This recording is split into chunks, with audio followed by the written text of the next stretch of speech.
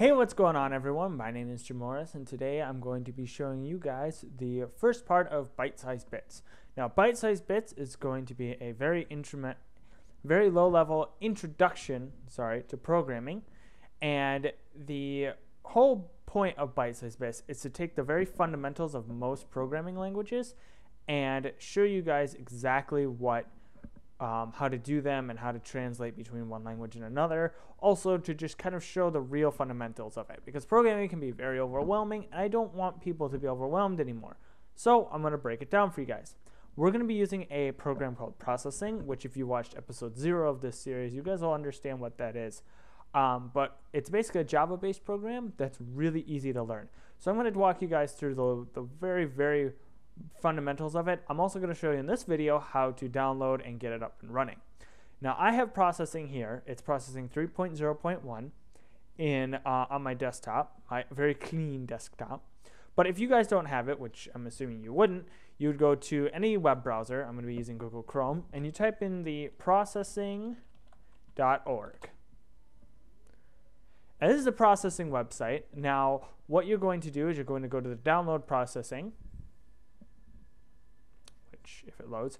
There you are. Now you can donate, but you don't have to. So you just click select no donation, hit download, and then choose whichever um, operating system you have. Now this was updated on the 23rd of October, so it was quite a while ago, but they do release it um, release updates once every few months, and this is a pretty stable version. So I have a Windows 64-bit operating system, so I would click on Windows 64-bit, and you guys just choose whichever one you have. They have it for Mac, Mac, Linux, and Windows, which is really nice. So you just click on it. If maybe there it is.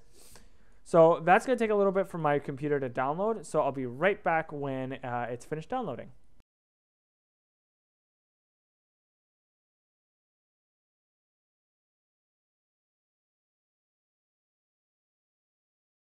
All right, so uh, it has now finished downloading, so you'll get this zip folder. So you just want to take it, at least in Google Chrome, you just take it and drag it to your desktop. So you just want to get it onto your desktop. And then what you want to do is you want to either, you want to extract the files, um, usually to a desktop folder, and then that's how you'll get this. Um, I will do this, so just to show you guys. It's really, really fast and simple. So I'm going to close my uh, browser here real quick, and you'll have this. Now this will have the processing 3.0.1, and I'll have this. So because I already have it, I'm just going to take these two files and delete them, just like that. So you'll have this folder here. Now here's the shortcut shortcut for processing, and I believe you can't remove it from. Yeah, you have to you have to re remove it. You have to have it in the actual folder. So. I believe so. Hopefully this works. Come on, processing. Doo doo doo. Okay. Okay, so here's uh, processing. Now I'm going to uh, close this window up here, so you don't, because you don't need that open, and we'll just maximize this for greater effect. Now, um, everything made in processing is called a sketch. And what that means basically is it's just a program. It's not really anything like special. It's just your basic program. So let's run through the uh, menu real quick. So you have new sketch. You have uh, you can open a sketch if you know where it is. You can open your recent sketches. You have a sketchbook. You have some examples. Uh, close, save, export application, and there's just a couple other things here. Um, there's some other things. Now, a really good thing to uh, to know is this auto format. So basically if I, what I want to do is I'm just going to write a few functions here. Whoops.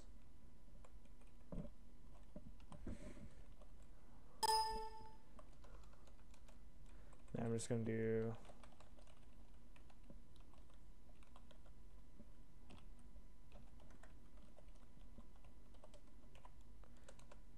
And then if I do something like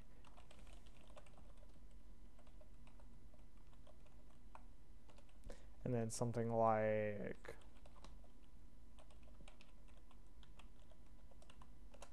so you can kind of see that my code is a little bit all over the place. So if I hit Control or Command, if you're on Mac, and Control T, it'll auto format it and it'll make it all look nice. So that's really helpful for um, if you have a like 400 lines of code, which I know sounds daunting, but it's really not. Um, you know, if you have a bunch of lines of code and you just, it all looks kind of messy. So then you just hit Control T and it'll auto format it for you. Um, you can, there's comments and uncommenting things, which basically, if I write a comment, is basically something that the computer doesn't read that you can do. So basically, if I wrote a bunch of code and it makes a moving rectangle, I'd basically do this is a moving rectangle. Rectangle. Here we go. So basically, everything that comes after this, anyone that reads my code later will know, okay, this is the code that he does to the moving rectangle. Let's just say I have another bunch of code here that says this is a moving circle. They'll know everything between, you know, this line and this line uh, is the moving rectangle. And then if I do something like this, this is a um, spinning line they'll be able to, they'll know between this line and this line is everything for the moving rectangle and everything after this line is the spinning line. So if that makes sense. So um, I'm going to run you guys through the basics of, oh, and then we will have some debug things, which is enable the debugger, which it should be on by default, but just in case you should check. Um, there's just some other things like run is basically whenever you draw a sketch, which I'll walk you guys through later. You just hit Control R or Command R, and that'll do that'll run the sketch. And then to stop, you know, you can just stop. Now, another thing is like you have a reference guide, which automatically is downloaded to your computer, so you don't need the internet. And this reference material is a whole ton of things, and this is everything that's in processing. Now, I know it looks overwhelming, but it's really not. So let's just say I wanted to know something particular about a rectangle right? And let's just say I can't remember how to properly size this rectangle. Well, if I wanted to, I would basically highlight it by either using my mouse or holding shift and using an arrow key to highlight rect, so it's in the little yellow box. And then I go to help and I do find and reference, or I could just highlight it and then hit control shift F. And boom, it brings up the page on the rect function, which is how you make rectangles. Really simple stuff. So anything you want to find in reference, you highlight it, then Control Shift F. Bam. Basically, think of it as Control Shift Find. So really simple stuff. So um, everything in processing is made via functions, and a function is basically um, a void, which returns nothing, and then whatever the name of the function is. So, for example, every sketch needs a setup function, which is basically what determines what's going to be run on the first frame. So a setup function only runs one time. It's a very, very first frame of when it's when you hit that play button. Because processing runs default at 60 frames per second, it's the first frame. So setup, and then you want to use the open and close parentheses because that defines a parameter. And a parameter, now like the setup function and know other functions. Most functions don't have parameters, but some do, and we'll get into that later.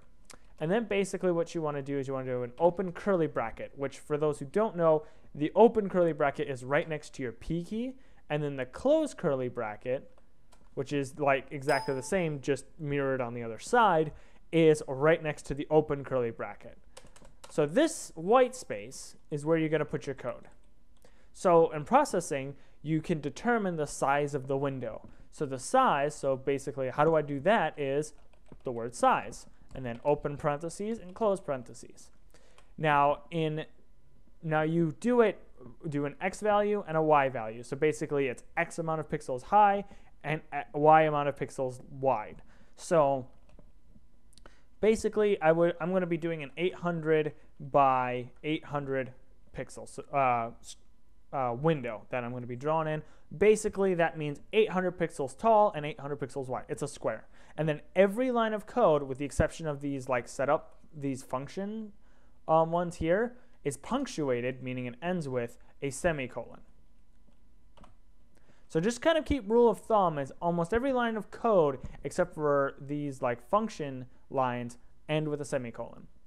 So then let's hit run. And there you go. There's your 800 by 800 window. Now, now that's all we're going to kind of go over today. Um, this video was a little bit longer than what I intended it to be.